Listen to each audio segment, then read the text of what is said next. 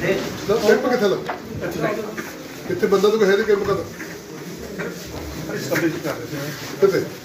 ਮਨੋਜ? ਕਿੰਨੇ ਪਰਿਵਾਰ ਦੇ ਤੁਹਾਡੇ? ਵੀਹ ਪਰਿਵਾਰ। ਕਿੱਥੇ ਬੈਠੇ ਮਾਈਕ ਦੇ ਹੈਡਫੋਨ ਜਿੱਥੇ ਕੈਂਪ ਲਾਇਆ ਉੱਥੇ ਭਾਉਂਦਾ ਨਾ ਲੋਕ ਕਿੱਥੇ ਆ ਹਾਂ? ਇਹ ਬੈਠੀ ਪ੍ਰੈਸ ਵਾਲੇ ਬੈਠੇ ਸੀ ਸੁਧਰ ਹੋ ਗਏ। ਹਾਂ। ਨਹੀਂ ਨਹੀਂ ਪਬਲਿਕ ਕਿੱਥੇ ਆ ਇੱਥੇ ਆ ਰਹੀ ਕਿੱਥੇ ਆ ਸੌਦੀ ਬਾਹਰ ਬੈਠ ਸੀ ਹਾਂ ਅੱਛਾ ਪ੍ਰਭਾਵ ਕਿੰਨੇ ਦਾ ਸਾਰੇ ਸਾਹਿਬ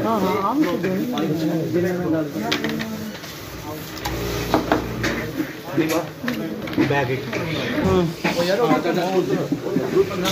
ਮੈਂ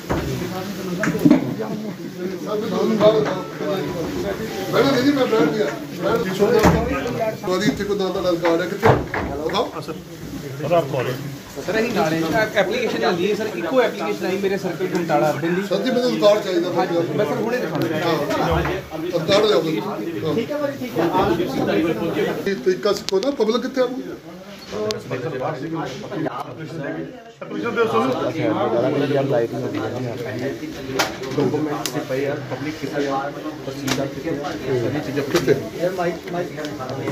ਜਿਹੜੇ ਜਿਹੜੇ ਇੰਤਕਾਲ ਕੀਤੇ ਆ, ਦਰਜ ਕੀਤੇ, ਉਹ ਵੀ ਲਿਆਓ ਤੋਂ ਉਹ ਵੀ ਲਿਆਓ ਰਿਕਾਰਡ ਲਿਆਓ ਮੇਰੇ ਅੱਗੇ।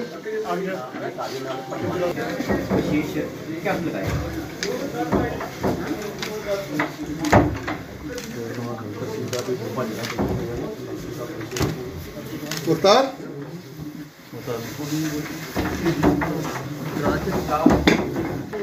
ਅੱਜ ਤੋਂ ਬਾਅਦ ਇਹ ਮੁੜ ਕੇ ਨਹੀਂ ਆਉਣਾ ਚਾਹੀਦਾ ਤੇ ਨਾ ਇਹਨਾਂ ਦਾ ਗਿਲਾ ਰਹਿਣਾ ਚਾਹੀਦਾ ਦਾ ਪਹਿਲੇ ਪਹਿਲ ਦੇ ਦਾਤੇ ਠੀਕ ਹੈ ਹਾਂ ਮਤਲਬ ਜੇ ਦੁਬਾਰਾ ਆਏ ਇਹਨਾਂ ਨੇ ਡੀਸੀ ਕੋ ਜਾਣਾ ਇਹਨਾਂ ਨੇ ਐਸਡੀਐਮ ਕੋ ਜਾਣਾ ਕਿੱਥੇ ਜਾਣਾ?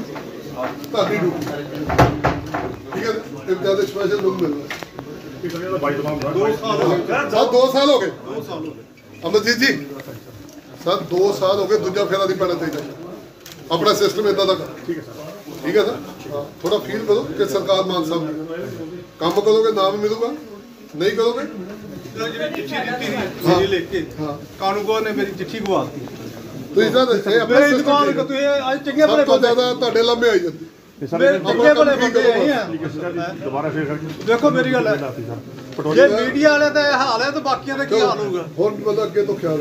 ਇੱਕ ਇਹ ਭੈਣ ਜੀ ਹੁੰਦੀਆਂ ਇਹਨਾਂ ਦਾ ਕੇਸ ਹੈ। ਜਿਹੜੇ ਕਿ ਆ ਕੇਸ ਲੋ ਇਹਨਾਂ ਦਾ ਹੀ ਆਪਣੇ। ਮੇਰੇ ਮੇਰੇ ਮਹਿਕਮੇ ਦਾ। ਇਹਨੂੰ ਕੰਪਲੀਟ ਕਰ। ਸਰ ਇਹ ਤਹਿਸੀਲ ਚ ਗੇੜੇ ਨਾ। ਜੇ ਗੇੜੇ ਮਾਰ ਕੇ ਮੇਰੇ ਕੋਲ ਚੱਲ ਗਈ ਹੈ ਦੁਬਾਰਾ। ਸਰ ਆਪਣੇ ਕੋਲ ਫਿਰ ਕੋਈ ਨਹੀਂ ਹੁੰਦਾ। ਫਿਰ ਮੈਂ ਮੈਂ ਪਹਿਲਾਂ ਤਾਂ ਮੈਂ ਆਪਣਾ ਕੰਮ ਪਿਆਰ ਨਾਲ ਹੀ ਕਰਦਾ। ਜੇ ਕੋਈ ਅਫਸਰ ਨਹੀਂ ਕਰਦਾ ਤਾਂ ਫਿਰ ਭਾਜੀ 81 ਦਾ ਪਲਾਟ ਦਿੱਤਾ ਹੈ ਕਬਜ਼ਾ ਆਇਆ ਹੈ ਹਾਂ। ਬਹੁਤ ਤੰਗ ਇਹਨਾਂ ਦਾ ਬਹੁਤ ਪੁਰਾਣਾ ਪਲਾਟ ਹੈ ਯਾਰ। ਇਹ ਵਿਚਾਰੇ ਉਹ ਕਬਜ਼ਾ ਕਰੀ ਜਾਂਦੇ ਇਹਦਾ ਮੰਮੀ ਤੁੰਦ ਕਾਰ ਚ ਬੈਠੇ ਆ ਬਜ਼ੁਰਗ 70 ਸਾਲ ਹਾਂ। ਬੱਤਰ ਇੱਕ ਇਹ ਇਹਨਾਂ ਦਾ ਵੀ ਕਰਕੇ ਦਿਓ ਠੀਕ ਹੈ? ਹਾਂ ਕੋਈ ਲਾਮਾ ਨਹੀਂ ਸਰ ਪਬਲਿਕ ਕਿਉਂ ਲਾਮਾ ਦੋ ਆਪਾਂ ਕੱਲ ਹੀ ਬੈਠੇ ਸਾਨੂੰ ਲੋਕਾਂ ਨੇ ਵੋਟਾਂ ਪਾ ਕੇ ਐਮਐਲਏ ਬਣਾਇਆ ਮੰਤਰੀ ਬਣਾਇਆ ਇਸੇ ਕਰਕੇ ਬਣਾਇਆ ਕਿ ਲੋਕਾਂ ਦੇ ਕੰਮ ਕਰੀਏ। ਤੁਹਾਨੂੰ ਤਹਿਸੀਲਦਾਰ ਬਣਾਇਆ ਪਟਵਾਰੀ ਬਣਾਇਆ ਤਨਖਾਹਾਂ ਮਿਲਦੀਆਂ। ਇਹ ਸਰ ਦੋ ਦੋ ਸਾਲ ਦੇ ਬੰਦੇ ਫਿਰਦੇ ਤਾਂ ਬਹੁਤ ਮਾੜੀ ਸਰ ਲੱਗਦਾ ਕਿ ਮਸਲੇ ਹੱਲ ਹੋ ਜਾਣਗੇ ਅੱਜ ਤੁਸੀਂ ਆਏ ਜੇ ਕਰਨਗੇ ਸਾਰੇ ਮਸਲੇ ਹੱਲ ਕਿਉਂਕਿ ਲੋਕਾਂ ਦੀਆਂ ਮੁਸ਼ਕਲਾਂ ਬਹੁਤ ਨੇ ਦੋ ਨੰਬਰ ਸਰ- ਤਹਿਸੀਲ ਸਰਦਾਰ ਭਗਵੰਤ ਸਿੰਘ ਮਾਨ ਜੀ ਦੀ ਸਰਕਾਰ ਆ ਪਬਲਿਕ ਪਬਲਿਕ ਦਾ ਹਰ ਮਸਲਾ ਹੱਲ ਕਰਾਂਗੇ ਤੁਸੀਂ ਘਬਰਾਓ। 2 ਸਾਲ ਹੋ ਗਿਆ ਮੇਰਾ ਇੰਤਕਾਲ ਰੁਕੇ ਨੂੰ। ਕਿੱਥੇ? ਇੱਥੇ ਤਹਿਸੀਲ 2 ਦੇ ਵਿੱਚ। ਹਾਂਜੀ। ਉਹਦੇ ਵਿੱਚ ਉਹਨਾਂ ਨੇ ਜਦੋਂ ਪਟਵਾਰੀ ਨਵੀਂ ਜਮਾਬੰਦੀ ਬਣਾਈ ਆ ਉਹਨਾਂ ਨੇ ਮੈਨੂੰ ਬਣਾਤਾ ਕੇ ਟੇਕਰ ਪਹਿਲਾਂ ਮੈਂ ਮਾਲਕੀ ਖਾਨੇ ਚ ਹੈਗਾ ਸੀ। ਉਹਨਾਂ ਸਾਰੇ ਕਦੀ ਪਟਵਾਰੀ ਨੇ ਰਿਪੋਰਟ ਕੀਤੀ ਕਾਨਗੋ ਨੇ ਕੀਤੀ ਸਦਰ ਕਾਨਗੋ ਨੇ ਕੀਤੀ ਐਸਡੀਐਮ ਨੇ ਕੀਤੀ। ਤਹਿਸੀਲਦਾਰ ਡੀਸੀ ਸਾਹਿਬ ਨੇ ਵੇਖਿਆ ਸ਼੍ਰੀ ਤਲਵਾਰ ਸਾਹਿਬ ਡੀਸੀ ਸਾਹਿਬ ਨੂੰ ਮਿਲਿਆ ਮੈਂ। ਉਹਨਾਂ ਸਾਰੀ ਰਿਪੋਰਟ ਮੇਰੀ ਵੇਖੀ ਪੜ੍ਹੀ ਤੇ ਉਹਨਾਂ ਕਹੇ ਇਹ ਤੇ ਮਾਮੂਲੀ ਗੱਲ ਹੈ ਫਰਦ ਬਦਲ ਬੰਨੀ ਆ। ਤਹਿਸੀਲਦਾਰ ਸਾਹਿਬ ਨੂੰ ਕਿਹਾ ਤੇ ਉਹਨਾਂ ਨੇ ਕੁਛ ਹਾਲੀ ਅੱਜ ਕਰਦੇ ਕੱਲ ਕਰਦੇ ਆ ਲਮਕਾ ਗਏ ਉਹਨਾਂ ਹੋਰ ਮਹੀਨੇ ਹੋਰ ਕੀ ਕਹਿੰਦੇ? ਹੁਣ ਕਹਿੰਦੇ ਡੀਸੀ ਸਾਹਿਬ ਕੋ ਫਿਰ ਮੈਂ ਪੇਸ਼ ਜਾਵਾਂਗਾ ਹਾਂ। ਇਹ ਰਿਪੋਰਟ ਹੈ ਕਿ ਮੇਰੇ 2 ਸਾਲ ਹੋ ਗਏ ਮੈਂ ਧੱਕੇ ਖਾਣੇ ਰੋਜ਼ ਸਵੇਰੇ ਆਣਾ ਤਿਆਰ ਹੋ ਕੇ। ਡੀ ਆ ਤਹਿਸੀਲਦਾਰ ਸਾਹਿਬ ਕਰ ਦੋ। ਅੱਜ ਮਿਲਿਓ ਮਿਲਿਓ। ਮੈਂ ਤਾਂ ਰੋਜ਼ ਮਿਲਦਾ ਤਹਿਸੀਲਦਾਰ ਸਾਹਿਬ ਨੂੰ। ਹਾਂ। ਨਾ ਨਾ ਮੇਰੀ ਮੇਰੀ ਮਿਲੋ ਚਲੋ ਮੈਂ ਡਿਊਟੀ ਉਹਨਾਂ- ਉਹਨਾਂ ਦਾ ਰਿਪੋਰਟ ਹੈਗੀ ਦੇਖੋ। ਕੀ ਕੀ ਦੱਸੋ ਭਾਈ। 2 ਸਾਲ ਤੋਂ। ਕੋਟ ਖਾਲਸਾ ਦੀ। ਹਾਂਜੀ। ਹਾਂਜੀ। ਬਹੁਤ ਖਬਰ ਹੈ। ਹਰ ਬਹੁਤ ਨਹੀਂ ਹਰ ਪਟਵਾਰੀ ਨੇ ਰਿਪੋਰਟ ਕੀਤੀ ਆ। ਰਜਿਸਟਰੀ ਹੋਈ ਇੰਤਕਾਲ ਹੋਇਆ ਸਭ ਕੁਝ ਹੋਇਆ। ਮੈਂ ਦੂਜੀ ਥਾਂ ਲਿੱਤੀ ਆ। ਉਹ ਕਰ ਦੇਗੀ ਆ? ਦੁਬਾਰਾ ਵਾਪਸ ਪਟਵਾਰੀ ਕੋ ਪਟਵਾਰੀ ਰਿਪੋਰਟ ਬਣਾਉਂਦਾ ਵਾ। ਉਹਨੇ ਫਿਰ ਅੱਗੇ ਪੇਸ਼ ਹੁੰਦਾ ਹੁਣ ਸਾਹਿਬ ਨੇ ਤਾਂ ਸਾਈਨ ਡੀ ਸਾਹਿਬ ਨੇ ਸਾਈਨ ਕਰਨੇ ਨਹੀਂ ਕਰਨ ਤਹਿਸੀਲਦਾਰ ਸਾਹਿਬ ਨੇ ਆ। ਤਹਿਸੀਲਦਾਰ ਕੌਣ ਨੇ? ਕਿਹੜੇ ਪਤਾ ਨਹੀਂ ਮੈਨੂੰ ਨਹੀਂ ਸਮਝ ਤਹਿਸੀਲ ਕਿਹੜੀ ਤਹਿਸੀਲ 2 ਤਹਿਸੀਲ 2 ਹਾਂਜੀ। ਇਹ ਸਰਕਾਰ ਜਾਣਦੀ ਆ। ਮੈਂ ਕੁਝ ਨਹੀਂ ਕਰ ਸਕਦਾ। ਮੇਰਾ ਰਜਿਸਟਰੀ ਇੰਤਕਾਲ ਪਹਿਲਾਂ ਮਨਜ਼ੂਰ ਹੈ 20 ਸਾਲ ਤੋਂ ਮੈਂ ਮਾਲਕ ਹਾਂ ਉਸ ਜਗ੍ਹਾ ਦਾ। ਫਿਰ ਉਹ ਪਟਵਾ ਜਿਹੜੇ ਐਕਚੁਅਲੀ ਹੋਇਆ ਕੀ ਆ? ਪਟਵਾਰੀਆਂ ਨੇ ਜੋ ਜਮਾਬੰਦੀ ਬਣੀ ਨਾ ਮੈਂ ਕਲਾ ਸਾਹਿਬ ਕਰਦੇ ਸਰ ਮੇਰੇ ਕੋਲ ਸੁਰਿੰਦਰ ਕੌਰ ਨੇ। ਉਹ ਆਏ? ਹਾਂਜੀ ਹਾਂਜੀ ਸਰ। ਕਿਹੜੇ ਕਿਹੜੇ? ਕਿਹੜੇ ਬੁਲਾਓ। ਅੱਜ ਪੰਜਾਬ ਦੇ ਮਾਨਯੋਗ ਮੁੱਖ ਮੰਤਰੀ ਸਰਦਾਰ ਭਗਵੰਤ ਸਿੰਘ ਮਾਨ ਜੀ ਨੇ ਪੂਰੇ ਪੰਜਾਬ ਦੇ ਵਿੱਚ ਸਾਡੇ ਕੋਲ ਇੱਕ ਬਾਤ-ਬਾਤ ਇਸ਼ੂ ਹੁੰਦਾ ਕਿ ਇੰਤਕਾਲਾਂ ਵਾਸਤੇ ਲੋਕਾਂ ਨੂੰ ਤਹਿਸੀਲਾਂ ਦੇ ਵਿੱਚ ਚੱਕਰ ਮਾਰਦੇ ਪਏ ਜਦੋਂ ਚੱਕਰ ਮਾਰਦੇ ਆ, ਕਦੀ ਪਟਵਾਰੀ ਸਾਹਿਬ ਨਹੀਂ ਬੈਠੇ ਹੁੰਦੇ, ਕਦੀ ਗੁਰਦੌਰ ਸਾਹਿਬ ਨਹੀਂ ਬੈਠੇ ਹੁੰਦੇ, ਕਦੀ ਤਹਿਸੀਲਦਾਰ ਸਾਹਿਬ ਨਹੀਂ ਬੈਠੇ ਹੁੰਦੇ। ਤੇ ਮਾਨ ਸਾਹਿਬ ਨੇ ਕਿਹਾ ਕਿ ਇੱਕੋ ਦਿਨ ਸਾਰੇ ਪਾਸੇ ਕੈਂਪ ਲਾ ਕੇ ਜਿੰਨੀਆਂ ਬਕਾਇਆ ਇੰਤਕਾਲ ਪੂਰੇ ਪੰਜਾਬ ਦੇ ਵਿੱਚ ਰਹਿੰਦੇ ਉਹ ਸਾਰੀਆਂ ਮਦਦ ਜਿਹੜੀਆਂ ਕੰਪਲੀਟ ਕਰ ਦਿੱਤੀਆਂ ਸੋ ਅੱਜ ਪੂਰੇ ਪੰਜਾਬ ਦੀਆਂ ਤਹਿਸੀਲਾਂ ਦੇ ਵਿੱਚ, ਸਾਰੇ ਪੰਜਾਬ ਕੱਲੇ ਇੱਥੇ ਨਹੀਂ, ਸਾਰੇ ਪੰਜਾਬ ਦੀਆਂ ਤਹਿਸੀਲਾਂ ਦੇ ਵਿੱਚ ਕੈਂਪ ਜਿਹੜੇ ਉਹ ਲੱਗੇ। ਔਰ ਕੈਂਪਾਂ ਦੇ ਵਿੱਚ ਜਿਹੜੇ ਬਕਾਇਆ ਇੰਤਕਾਲ, ਉਹ ਅਸੀਂ ਕਰ ਰਹੇ ਮੈਂ ਅਜਨਾਲੇ ਵੀ ਜਾ ਕੇ ਆਇਆ, ਰਾਜਾ ਸਾਹਿਬ ਵੀ ਜਾ ਕੇ ਆਇਆ, ਹੋਰ ਥਾਵਾਂ ਤੇ ਵੀ ਚੱਲਿਆ ਇੱਥੇ ਵੀ ਦੇਖਿਆ। ਥੋੜਾ ਇਹਨਾਂ ਕੋ ਸਿਸਟਮ ਸਿਸਟਮੈਟਿਕਲੀ ਨਹੀਂਗਾ ਬਾਕੀ ਚਲੋ ਗੁਰਦੌਰ ਵੀ ਆ ਜਾਂਦੇ ਤਹਿਸੀਲਦਾਰ ਸਾਹਿਬ ਵੀ, ਪਟਵਾਰੀ ਵੀ ਹਾਜ਼ਰ ਨੇ।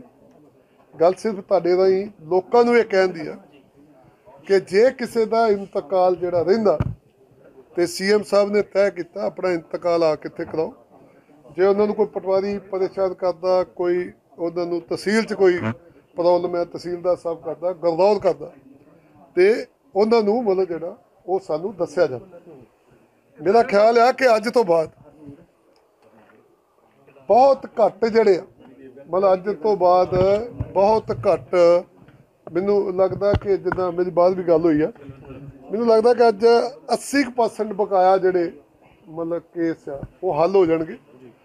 10-20% ਜਿਹੜੇ ਰਹਿ ਗਏ ਉਹ ਆਪਾਂ ਦੁਬਾਰਾ ਕੈਂਪ ਲਾ ਕੇ ਦੁਬਾਰਾ ਕਰ ਸਰਕਾਰ ਵੱਲੋਂ ਬੜਾ ਵਧੀਆ ਕੀਤਾ ਜਾ ਰਿਹਾ ਹੈ। ਕੀ ਕਰਨਾ ਜੀ? ਉਪਰਾਲਾ ਵਧੀਆ ਕੀਤਾ ਗਿਆ 1700 ਕੁਝ ਸੀ ਜਦੋਂ ਅਸੀਂ ਰਾਤ ਨੂੰ ਚੈੱਕ ਕੀਤਾ ਸੀ 1700 ਕੁਝ ਸੀ ਅੰਮ੍ਰਿਤਸਰ ਜ਼ਿਲ੍ਹੇ ਦੇ ਜਿਹੜੀਆਂ ਇੰਤਕਾਲਾਂ ਹੋਣ ਵਾਲੀਆਂ ਸੀ।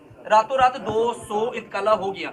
ਤਾਂ ਲੱਗਦਾ ਨਹੀਂ ਕਿ ਪਹਿਲਾਂ ਸਖਤੀ ਕੀਤੀ ਜਾਵੇ ਤਾਂ ਲੋਕਾਂ ਨੂੰ ਪਰੇਸ਼ਾਨੀ ਨਾ ਹੋਵੇ ਕਿ ਸਰਕਾਰ ਵੱਲੋਂ ਉਪਰਾਲਾ ਨਹੀਂ ਨਹੀਂ ਆਪਾਂ ਦੇਖੋ ਆਪਾਂ ਦੇਖੋ ਹਰ ਚੀਜ਼ ਜਿਹੜੀ ਆ, ਸਹਜੇ ਸਹਜੇ ਆਪਾਂ ਠੀਕ ਕਰ ਰਹੇ ਇਸੇ ਕਰਕੇ ਅਸੀਂ ਤੈਅ, ਇੱਕ ਹੋਰ ਚੀਜ਼ ਤੈਅ ਕੀਤੀ ਜਿਹੜੀ ਤੁਹਾਨੂੰ ਅੱਜ ਹੀ ਦੱਸਦੇ ਹਾਂ ਸੀਐਮ ਸਾਹਿਬ ਨੇ ਅੱਗੇ ਵੀ ਦੱਸਿਆ ਸੀਗਾ।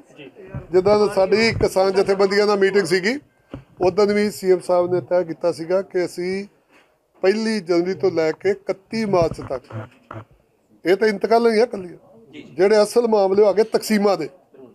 ਵੀ ਉਹ ਤਕਸੀਮਾਂ ਦੇ ਜਿਹੜੇ ਆਪਸੀ ਸਹਿਮਤੀ ਵਾਲੇ ਕੇਸ ਆ, ਉਹ ਸਾਰੇ ਲੋਕ ਬੈਠ ਕੇ ਜਿਹੜਾ ਉਹ ਸਾਡੇ ਤਹਿਸੀਲਦਾਰ ਦਾ ਉਹਦੇ ਵੀ ਇਦਾਂ ਕੈਂਪ ਲਾਵਾਂਗੇ ਆਪਾਂ। 31 ਮਾਰਚ ਦਾ ਉਹ ਵੀ ਕੰਪਲੀਟ ਕਰ ਦਾਂਗੇ। ਔਰ 31 ਮਾਰਚ ਤੱਕ ਆ ਤੇ ਇਸੇ ਮਹੀਨੇ ਚ ਹੋ ਜਾਵੇ ਤਾਂ ਕੋਈ ਬਹੁਤ ਵੱਡੀ ਗੱਲ ਨਹੀਂ ਇਸੇ 'ਚ ਹੀ ਹੋ ਜਾਊਗਾ ਸਾਰਾ। ਸੋ ਮੇਰਾ ਖਿਆਲ ਹੈ ਕਿ ਜਿਹੜੇ ਲੋਕਾਂ ਨੂੰ ਇੰਤਕਾਲ ਵਾਸਤੇ ਲੋਕਾਂ ਨੂੰ ਤਕਸੀਮ ਵਾਸਤੇ ਜਿਹੜੇ ਚੱਕਰ ਮਾਰਦੇ ਪਏ ਨੇ ਤਹਿਸੀਲੇ ਸੀਐਮ ਸਾਹਿਬ ਉਹ ਚੱਕਰ ਜਿਹੜੇ ਖਤਮ ਕਰਨਾ ਚਾਹੁੰਦੇ ਹੋ ਜਾਣ। ਕੀ ਦਾ ਕਾਰਨ ਕੀ ਹੈ ਜੀ? ਦੋ ਨੰਬਰ ਤਹਿਸੀਲ ਦੇ ਵਿੱਚ 500 ਕੁਝ ਨੇ। ਸਾਰੀਆਂ ਤਹਿਸੀਲਾਂ ਵਿੱਚ ਘੱਟ ਨੇ ਸਿਰਫ ਦੋ ਤਹਿਸੀਲ ਦੋ ਦੇ ਵਿੱਚ ਹੀ 500 ਕੁਝ ਨੇ। ਕੋਈ ਨਹੀਂ ਜੇ? ਇਹਨਾਂ ਇਹਨਾਂ ਨਾਲ ਆਪਾਂ ਜੇ ਘਰ ਇੱਥੇ ਵੱਧ ਨੇ ਨਹੀਂ ਹੋਏ ਤੇ ਆਪਾਂ ਇਹਨਾਂ ਨਾਲ ਮੀਟਿੰਗ ਕਰਕੇ ਡੀ ਸਾਹਿਬ ਨੂੰ ਕਹਾਂਗੇ ਕਿ ਇੱਥੋਂ ਦਾ ਕੰਮ ਵੀ ਜਿਹੜਾ ਫਤਿਹ ਕਰ ਦਿੱਤਾ ਜਾਵੇ। ਸਦੀ 500 ਆ ਤੁਹਾਡਾ। ਮੀਡੀਆ ਵਾਲੇ ਪੁੱਛਦੇ ਸੁਣੋ ਕਿੰਨੇ ਰਹਿ ਗਏ? ਜੋ 200 ਸਾਲ ਮਿਸੇ ਪੁਰਾਣੇ ਜਿਹੜੇ 18 19 ਠੀਕ ਹੈ। ਅੱਜ ਤਰੀਕ ਕਿੰਨੀ ਹੈ? 6 6 20 ਤਰੀਕ ਤੱਕ ਸਾਰੇ ਕੰਪਲੀਟ ਕਰ।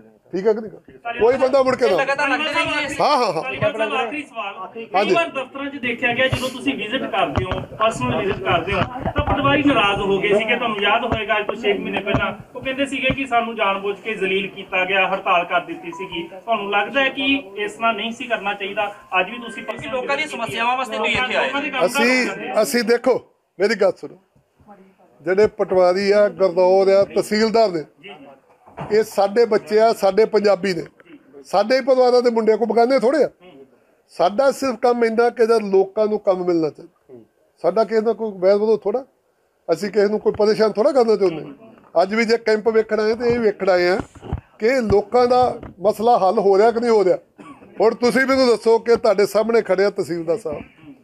ਇਹਨਾਂ ਨੇ ਕਿਹਾ ਕਿ 300 ਅੱਜ ਮਤਲਬ ਹੋ ਜਾਊਗਾ 500 ਬਕਾਇਆ। ਇਹਦਾ ਮਤਲਬ 300 ਹੋ ਗਿਆ। ਮੈਂ ਪਿੱਛੇ ਵੀ ਰਾਜਸਥਾਨ ਚੈੱਕ ਕਰਕੇ ਆ ਅਜਨਾਲਾ ਉੱਥੇ ਵੀ 100 100 150 ਹੋ ਗਿਆ। ਇਹਦਾ ਮਤਲਬ ਕੈਂਪ ਲਾਇਆ ਤੇ 300 ਅੱਜ ਹੱਲ ਹੋ ਗਿਆ। ਜਿਹੜਾ ਬਾਕੀ ਰਹਿ ਜਾਊਗਾ ਉਹ ਵੀ ਦੋ ਚਾਰ ਦਿਨ ਦੇ ਵਿੱਚ ਹੱਲ ਕਰ ਦੇਣਗੇ ਗੱਲ ਹੀ ਕੋਈ ਨਹੀਂ ਗੱਲਬਾਤ ਹੋਈ ਸਰ। ਗੱਲਬਾਤ ਹੋਈ। ਗੱਲਬਾਤ ਕੀਤੀ ਜੇ। ਬਹੁਤ ਕੀਤੀ। ਬਾਅਦ ਮੈਨੂੰ ਮਿਲੇ ਆ ਉੱਥੇ ਰਾਜਸਥਾਨ ਜ਼ਿਲ੍ਹੇ ਅੱਗੇ ਕਿਵੇਂ ਯਕੀਨੀ ਬਣਾਵਾਂਗੇ ਕਿ ਲੋਕਾਂ ਨੂੰ ਮੁੜ ਕੇ ਪਰੇਸ਼ਾਨੀ ਨਾ ਚੱਲਣੀ ਪਵੇ ਜੀ? ਸਰ ਜੀ ਤੁਸੀਂ ਵਿਜ਼ਿਟ ਕਰਦੇ ਰਹੋਗੇ। ਬਿਲਕੁਲ ਅਸੀਂ ਵਿਜ਼ਿਟ ਕਰਦੇ ਰਹਾਂਗੇ ਜਿੱਥੇ ਜਿੱਥੇ ਵੀ ਪਬਲਿਕ ਨੂੰ ਕੋਈ ਸਮੱਸਿਆ ਹੁੰਦੀ ਹੈ ਪਬਲਿਕ ਦੀ ਸਮੱਸਿਆ ਹੱਲ ਕਰਦੀ ਸਾਡੀ ਡਿਊਟੀ ਹੈ ਪਬਲਿਕ ਨੇ ਸਾਨੂੰ ਵੋਟਾਂ ਪਾਈਆਂ। ਪਬਲਿਕ ਨੇ ਹੀ ਸਰਦਾਰ ਭਗਵੰਤ ਸਿੰਘ ਮਾਨ ਜੀ ਨੂੰ ਮੁੱਖ ਮੰਤਰੀ ਬਣਾਇਆ ਸਾਨੂੰ ਐਮਐਲਏ ਬਣਾਇਆ ਮੰਤਰੀ ਬਣਾਇਆ।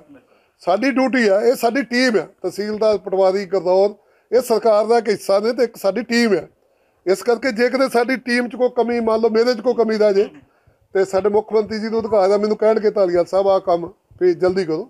ਥੱਲੇ ਕੇ ਟੀਮ 'ਚ ਰਹਿ ਜੇ, ਤੇ ਉਹ ਵੀ ਸਾਡੀ ਡਿਊਟੀ ਆ ਕਿ ਆਪਾਂ ਇਹਨਾਂ ਨੂੰ, ਅਫਸਰਾਂ ਨੂੰ ਕਹੀਏ ਕਿ ਸਰ ਜਲਦੀ ਕੰਮ ਫਿਨਿਸ਼ ਕਰੋ, ਲੋਕਾਂ ਨੂੰ ਮਤਲਬ ਪ੍ਰੋਬਲਮ ਨਹੀਂ ਹੋਣੀ ਸਰ ਚਾਹੀਦੀ ਠੀਕ ਹੈ ਸਰਕਾਰ ਦਾ ਇੱਕ ਟੀਚਾ ਹੈ ਕਿ ਕਰਪਸ਼ਨ ਖਤਮ ਕੀਤੀ ਜਾਵੇ। ਹਰ ਕਰਪਸ਼ਨ ਹਰ ਜਗ੍ਹਾ ਖਤਮ ਹੁੰਦੀ ਪਰ ਫਿਰ ਵੀ ਸਰਕਾਰੀ ਕੁਝ ਮਹਿਕਮਿਆਂ ਦੇ ਵਿੱਚ ਪ੍ਰਾਈਵੇਟ ਬੰਦੇ ਕੰਮ ਕਰਦੇ ਵੀ ਕੀ ਉਹਨਾਂ ਨੂੰ ਤਨਖਾਹ ਕਿੱਥੋਂ ਆਉਂਦੀ ਹੈ ਕਰਪਸ਼ਨ? ਕਰਪਸ਼ਨ ਜਿਹੜੀ ਹੈ ਦੇਖੋ ਤੁਸੀਂ ਤੇ ਮੀਡੀਆ ਵਾਲੇ ਸਾਥੀ ਬੜੇ ਸਿਆਣੇ ਹੋ। ਜੀ। ਪੰਜਾਬ ਦੇ ਵਿੱਚ 75 ਸਾਲ ਤੋਂ ਗੰਦ ਪਿਆ। ਜੀ। ਤੇ ਅਜੇ ਆਪਾਂ ਨੂੰ 19 ਮਾਰਚ ਨੂੰ 2 ਸਾਲ ਹੋਣੇ ਜਾ ਕੇ। ਆਪਾਂ ਨੂੰ ਅਜੇ ਇੰਨਾ ਟਾਈਮ ਨਹੀਂ ਮਿਲਿਆ। ਆਪਾਂ ਬਹੁਤ ਸਾਰੇ ਬਹੁਤ ਸਾਰੇ ਮਸਲੇ ਹੱਲ ਕਰਤੇ। ਜਿਹੜੀਆਂ ਤੁਸੀਂ ਚੀਜ਼ਾਂ ਦੱਸ ਰਹੇ ਹੋ ਸਾਰੀਆਂ ਚੀਜ਼ਾਂ ਸਹਿ ਸਹਜੇ। ਸਿਸਟਮ ਹੀ ਇਦਾਂ ਦਾ ਬਣਾ ਦਿੰਦਾ ਕਿ ਚੀਜ਼ਾਂ ਸਾਰੀਆਂ ਖਤਮ ਹੋ ਜਾਣ, ਲੋਕਾਂ ਨੂੰ ਕਰਪਸ਼ਨ ਕਿਤੇ ਪੈਸੇ ਦੇ ਕੇ ਕੰਮ ਨਾ ਕਰਾਉਣਾ ਪਏ ਕਿਉਂਕਿ ਟਾਈਮ ਦੇਖੋ ਟਾਈਮ ਹਰ ਚੀਜ਼ ਨੂੰ ਲੱਗਦਾ। ਕੋਈ ਜਾਦੂ ਦੀ ਛੜੀ ਤਾਂ ਹੈ ਨਹੀਂ ਸੀਐਮ ਸਾਹਿਬ ਕੋ ਪਰ ਸੀਐਮ ਸਾਹਿਬ ਜਿੰਨਾ ਕੰਮ ਕਰ ਰਹੇ, ਜੇ ਢੰਗ ਨਾਲ ਕੰਮ ਕਰ ਰਹੇ ਇਹ ਤੁਹਾਨੂੰ ਸ਼ਿਕਾਇਤਾਂ ਸਾਲ ਮੇਰਾ ਖਿਆਲ ਹੋਰ ਲੱਗੂਗਾ ਸਾਰੀਆਂ ਖਤਮ ਹੋ ਜਾਣਗੀਆਂ ਕੋਈ ਚੱਕਰ ਨਹੀਂ। ਅੱਛਾ ਜ਼ਿਲ੍ਹੇ ਲਾਸਟ ਸਵਾਲ ਹੈ। ਜ਼ਿਲ੍ਹੇ ਪੂਰੇ ਭਰ ਦੇ ਵਿੱਚ ਤਹਿਸੀਲਾਂ ਅਤੇ ਪਟਵਾਰਖਾਨੇ ਦੇ ਸੁਧਾਰ ਵਾਸਤੇ 3 ਕਰੋੜ ਤੇ 74 ਲੱਖ ਰੁਪਏ ਆਇਆ ਸੀ। ਤਹਿਸੀਲ ਦੇ ਬਾਹਰ ਜਾ ਕੇ ਦੇਖ ਸਕਦੇ ਆ ਬੋਰਡ ਡਿੱਗ ਚੁੱਕੇ ਹੋਏ ਨੇ। ਕੋਈ ਸੁਧਾਰ ਨਹੀਂ ਕੀਤਾ ਉਹ ਪੈਸੇ ਕਿੱਥੇ ਗਏ ਨੇ? ਕਿਹੜੇ ਕਿਸ ਹਿਸਾਬ ਨਾਲ? ਕੋਈ ਨਹੀਂ ਮੈਨੂੰ ਦੇਖੋ ਇਹ ਜੇ ਐਟ ਅ ਟਾਈਮ ਮੈਨੂੰ ਨਹੀਂ ਪਤਾ ਵੀ ਕਿੰਨੇ ਪੈਸੇ ਆਏ ਆ। ਸਾਰਾ ਦੱਸਣਾ ਫਰਜ਼ ਤੁਹਾਨੂੰ। ਕੋਈ ਗੱਲ ਤੁਸੀਂ ਦੱਸਤਾ। ਜੀ। ਸਰ ਤੁਹਾਡੇ ਦੱਸਣ ਦੀ ਦੇਰ ਆ। ਅਸੀਂ ਕਾਰਵਾਈ ਸ਼ੁਰੂ ਕਰ ਦੇਣੀ ਗੱਲ ਕੀ? ਆਪਾਂ ਪਤਾ ਕਰ ਲੈਂਦੇ ਆ ਕਿੱਥੇ ਗਏ ਪੈਸੇ ਕੀ ਹੋਇਆ? ਆਪਾਂ ਜੇ ਕੋਈ ਪੈਸੇ ਸਾਡੇ ਕੋਲ ਪਏ ਹੋਏ ਡੀਸੀ ਸਾਹਿਬ ਨੂੰ ਪੁੱਛ ਕੇ ਦੋ ਕੰਮ ਕੰਪਲੀਟ ਕਰਦੇ ਆ ਘਬਰਾਉਣੇ ਕੋਈ